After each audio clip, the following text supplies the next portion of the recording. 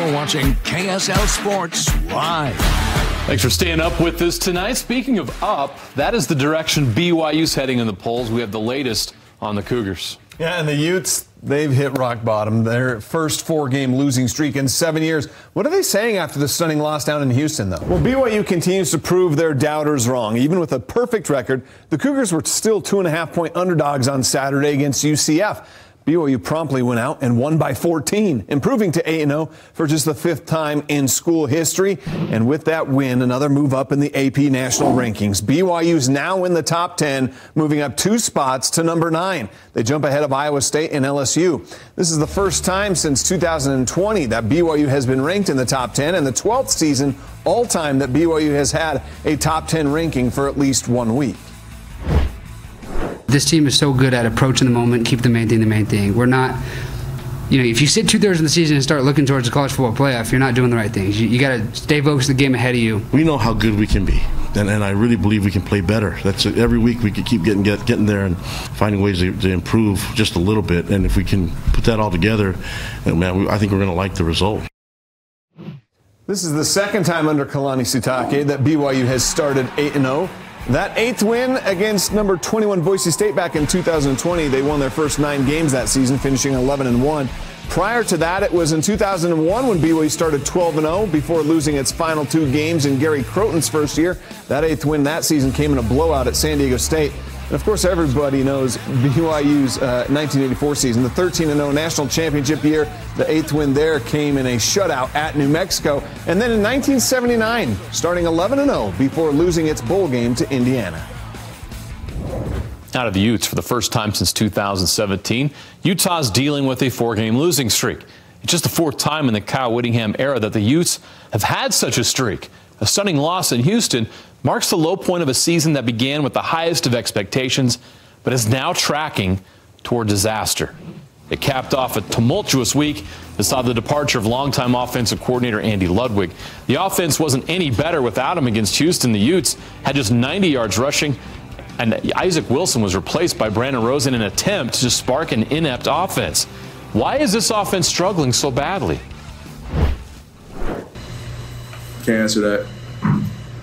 Don't. I'm not gonna answer that. I know what it is, but I'm not gonna answer that. Can you give us any insight as to what happened to you? Or? No, I'm sorry. Can't. Sorry. Appreciate you. Appreciate you. I think someone would pay a lot of money to hear that response from Micah Bernard. Tough times for the Utes. We have a short break to take right now. More NFL highlights are on the way. Yeah, the Broncos, they got things clicking against the Panthers. And are the Lions Super Bowl contenders? You know, especially being a young team, we're not going to get calls like that. So I think just learning how to be more physical. The Utah Jazz begin another season, and it's clear it's going to be a long season. Plus, we turn back the clock a long time ago to when this guy played his first game with the Jazz. Overall, I think he's playing really good football. Jake Retzlaff continues his ascension in the Cougar as a Cougars team leader. More on his recent success and after a fourth straight loss, where do the Utes go from here? That and a walk-off win from Utah State on the way. Also, the playoffs begin in high school football. We got the best games from round one, the top five plays of the week, and the game night live highlight reel all on the way. Stick around, more KSL Sports Live right after this. I got a screenshot of it for sure in my phone. Uh, I think it was put on the first broadcast to start the year. Um, but it's something that you know it's just fuel to the fire. There's a lot of doubters to start the season for us, and uh, we we're not forgetting that. Jake Retzlaff and the BYU Cougars continue to stick it to the haters, and in the process are putting together a season that could become something special. Yeah, Retzlaff using that preseason prediction on his phone that would uh, that he would be the worst quarterback in the conference, as he said, to add fuel to his fire. He took another step forward on Saturday in Orlando. Jake played one of his best games as a Cougar. He started things off with a 29-yard touchdown run on the Cougars' first drive. He was great through the air, too, an efficient 16 of 24 for 228 yards, two touchdowns, no interceptions, just the one fumble. Nine different receivers caught passes in Orlando. He's led BYU to an 8-0 start, just the fifth 8-0 start in BYU history. How about the run game? BYU continues to be a big factor in on the ground in their team's success. And on Saturday, the Cougars ran the ball 48 times for 255 yards. That's their second straight game with 255 yards rushing. And they've been owning the time of possession. BYU's offense held the ball for 40 minutes and 28 seconds. That's the highest time of possession they've had since facing UCLA in 2015. That was something we emphasized this week and last week is making sure we convert on third down, and I thought we did a pretty good job of that. I like the momentum. I like the rhythm that the offense is getting into, and I know that we can go fast if we need to, and I know that we can huddle. I just we wanted to be efficient and make sure that we play uh, efficient football on offense and possess the ball a little bit. We knew going into that game that stopping the run was key for a BYU victory. UCF was third in the country in rushing entering the game and rushed for 354 yards the week prior to Iowa State. BYU's defense did a great job containing the UCF run game, holding the Knights to just 181 yards on the ground, almost eight, that's 90 yards below their season average of 268 yards per game. Just coming into this week, we knew that we needed to stop the run. We need to show people that we can stop the run. It's always good seeing like good running backs in the Big 12, and uh, we know that every team that we play is going to have somebody that's pretty good. So it just kind of makes our defense better. I thought we did well, um, especially the first half. Of course, the second half kind of fell off a little bit. I think the biggest thing the coaches emphasized this week was uh, dominating the the front, but I thought we executed our game plan. BYU is having the season we thought Utah was going to have. This isn't the Utah team we thought they would be. Losers in four straight and struggling to move the ball and score points on offense. Yeah, they made some coaching changes. Of course, this week Andy Ludwig out as offensive coordinator, Mike Bajakian in as the interim play caller, but that didn't seem to make much of a difference on Saturday. If you look at the numbers, you know, Isaac Wilson was having a decent game in Houston. He was 13 of 22 passing for 171 yards and a touchdown. But the touchdown and nearly half of that yardage came on the first possession. And Coach Whitt, he chose to bench Wilson in the second half in favor of Brandon Rose. And what was Coach Whitt's motive behind the move? And is this going to be a permanent thing? Yeah, trying to get a spark, trying to create something. We'd only scored the one touchdown. And, and uh, just didn't seem to be gaining any momentum offensively. Everybody's got to play up to a certain standard, and so the quarterback position is no different. And so we'll take a long, hard look at that and see where we are. The Utes now a bye week to rest, heal up, and find some answers because their remaining schedule is not going to be easy. Three straight games against top four teams in the conference standings. They host the rivalry game against BYU, then travel to Boulder to face Coach Prime 6 and 2 Colorado Buffaloes. Then they host another contender, Iowa State, before a two time zone trip to Orlando on Thanksgiving weekend to face UCF. How much fight does this team have left to turn things around? Where, where do we go now? We, we keep going to try to get a win. We got to keep going, and try to get a win. We got to figure something out, and we have to put, you know, like I've been saying, the W into the win column. Nobody's gonna fall off. Nobody is gonna quit on the team. Like we love football. We just gotta love winning more. Well, we're a week into the NBA season now. Too early to crown the Thunder?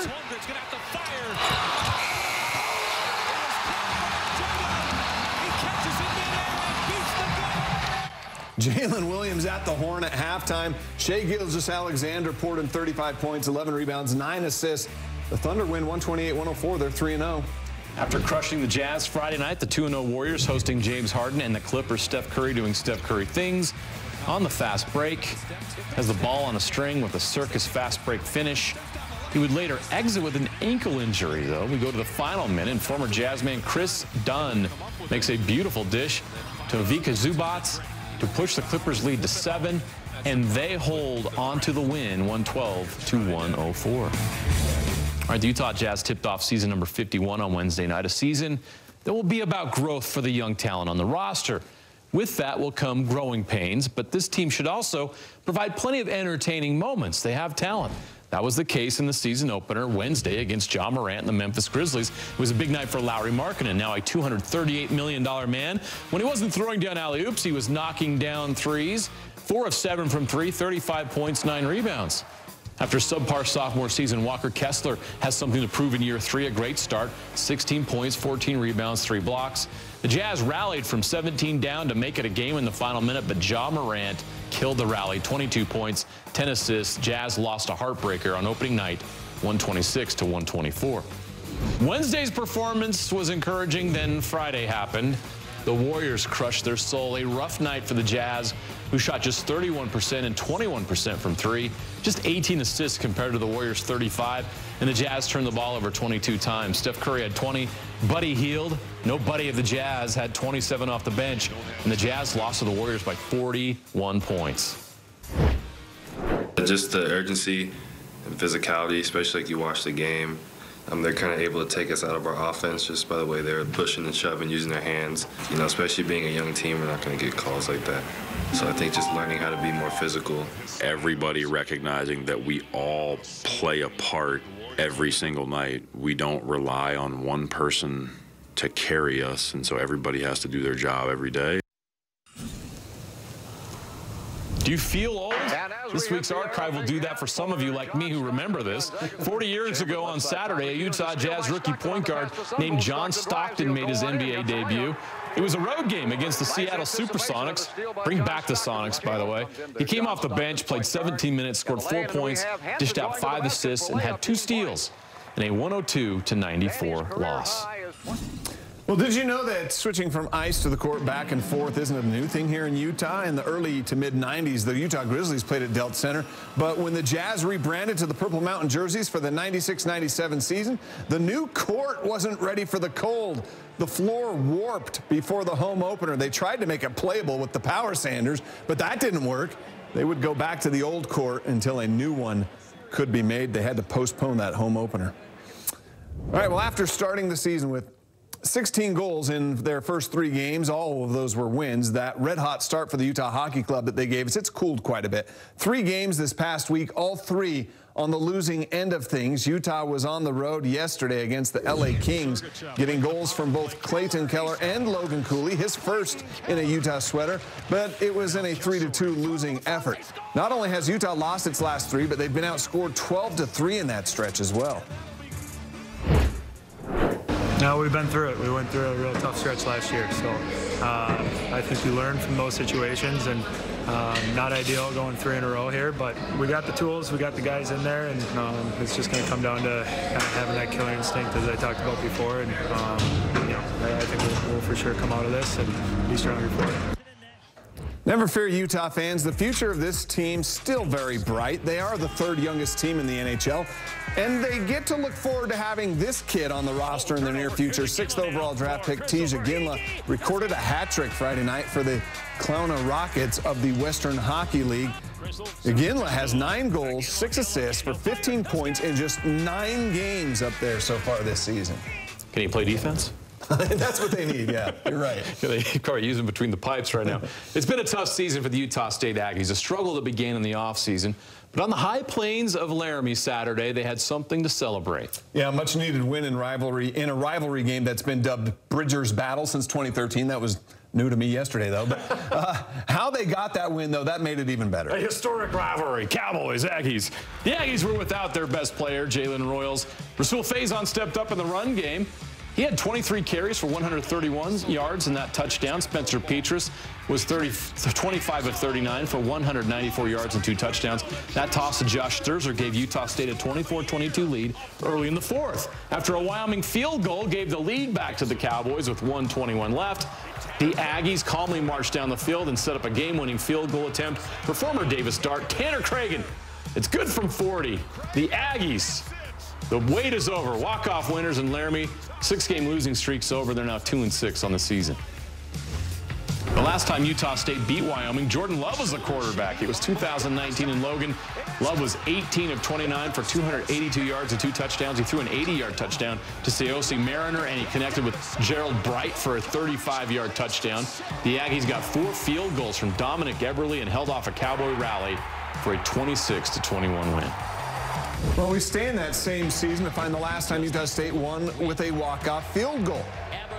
It was the week before that Wyoming win, and yes, that same name, Dominic Eberle. He hit the 30-yard field goal as time expired to beat Fresno State 37 to 35.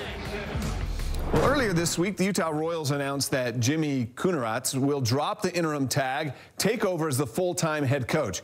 He smiled when I asked him what he loves about the challenge of getting this team championship ready that's everything you like as a coach. I think um, not only as a coach but also as a, as a player. Like um, I think back in Belgium as well, but here as well. Um, I think our main phrase as a staff is that we want to create the most powerful and challenging environment for every player and staff member.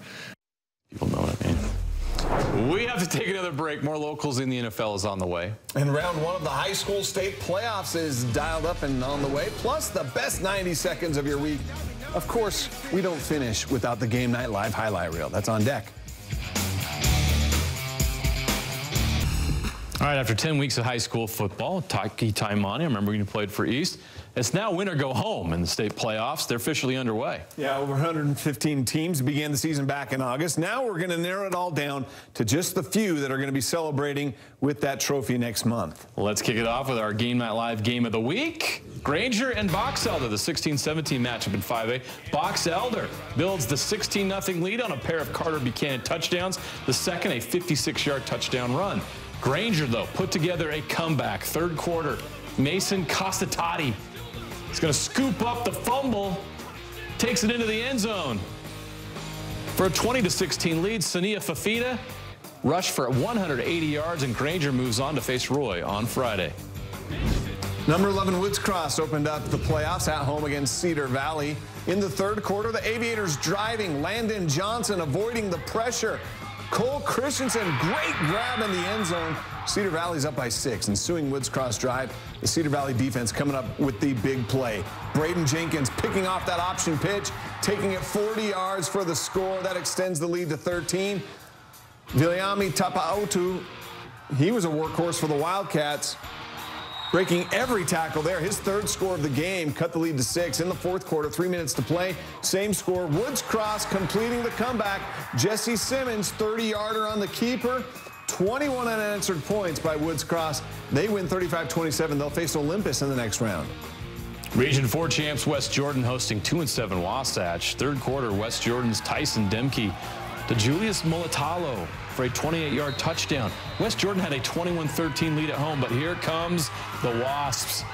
And this stings for West Jordan. Crew Baxter with the pick that led to a go-ahead field goal. And then Brody Hulme. Watch this effort. He's going to put this game away with a pick six to cap it off. Wasatch with the big upset, 29 to 21. Early afternoon start on Friday between 12th seeded West and number 21 Taylorsville. First quarter, Taylorsville, no answer for West Louis Hamilton. Weaves his way through the defense for one of his three first quarter touchdowns, and West had a 20 to 0 lead. In the second quarter, West defense joins the scoring. Spencer Mafi knocks it up in the air, and that's Nofu Hafoka picking it and scoring it. Everything going well for West. Chachi Pan back to field this punt at his own 45-yard line, and He's going the distance for the touchdown. West with a massive win, 68 to 14. Now to the 4A state playoffs. Number 12 Timpanogos hosting 21 Bear River. Bears pull out the trick play. Double pass ends up in the hands of Corver Riley for six. Riley would score again in the third quarter. Bear River goes on the road and pulls off the upset 23 to 17 to advance. Up in Cache Valley, Mountain Crest hosting Westfield. In the first quarter here, Mustangs going to the air. Brady Muir to the end zone. Mika Clements coming down with the Mount Crest, jumped out to an early 14-0 lead. That's when Westfield found the end zone. Tice Abbott to Phoenix Sandoval. But Mountain Crest scored 21 unanswered points after that. And the Mustangs go on to blow out uh, Westfield 36-7. They'll face Skyview next.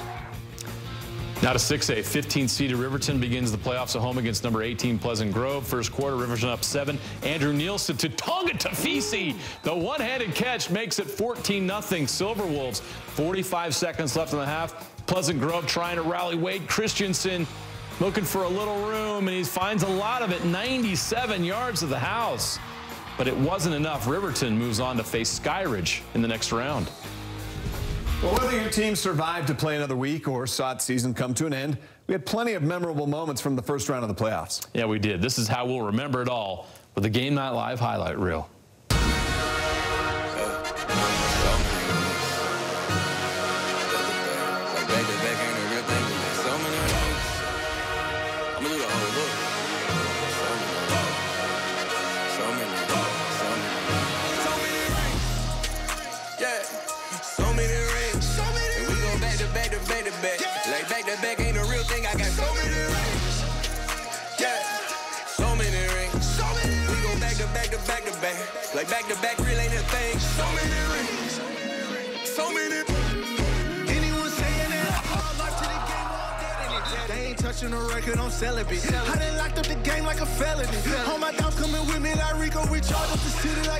I ain't do it for the fame. I just did it for the reins. Only winner in my veins. Only platinum, golden diamonds, my name.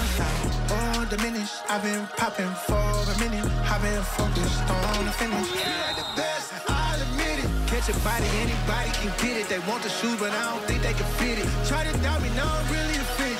Got the trophy, now it's really our city. So many rings. Yeah. So many rings. My mom. My mom. Back to back back to back. Like back to back, really ain't a thing.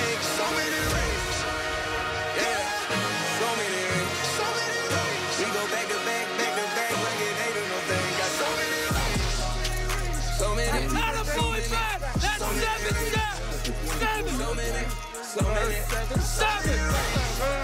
So many. It's time for everyone's favorite segment. Yes, it is. Let's Did I sell that? Very well. We're going to count down the best plays from the first round of the playoffs. This is the game night five.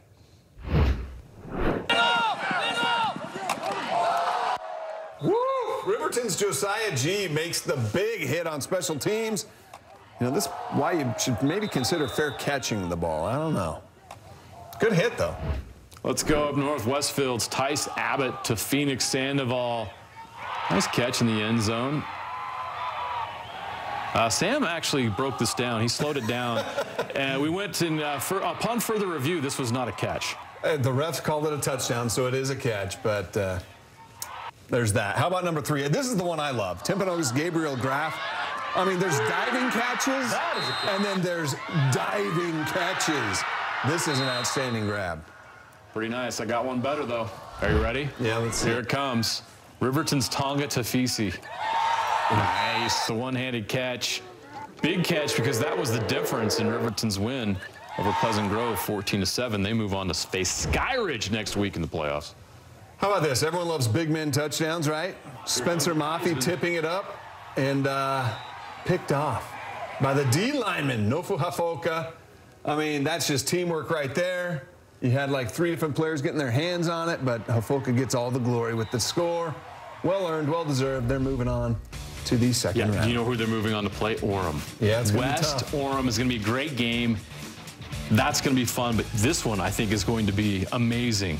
High school football playoffs continue, and our Game Night Live game of the week takes us to Farmington High School. The Phoenix Region 1 champs host American Fork. Kickoff at 6 p.m. You can watch this on the KSL Sports app, KSL Plus app, and KSLSports.com. 5 versus 12 and 6A. Can't wait for it. We'll bring the action to you next week, uh, next Friday.